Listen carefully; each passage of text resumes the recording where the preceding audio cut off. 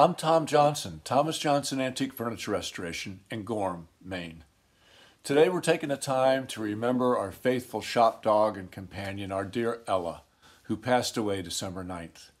And I want to thank all my viewers for their condolences and sympathies. It's amazing how many people all over the world loved our dear Ella.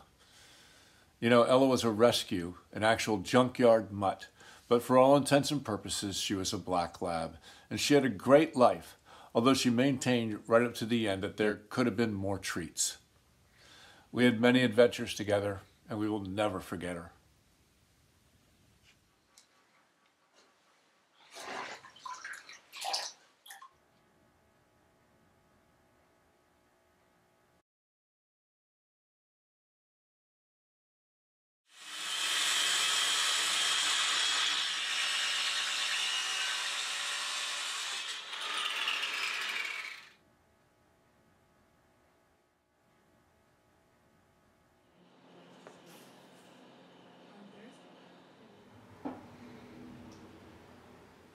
We've got a new camera, so if you've got the bandwidth, click the gear icon in the corner of the video player, select your preferred quality, and enjoy the video in HD.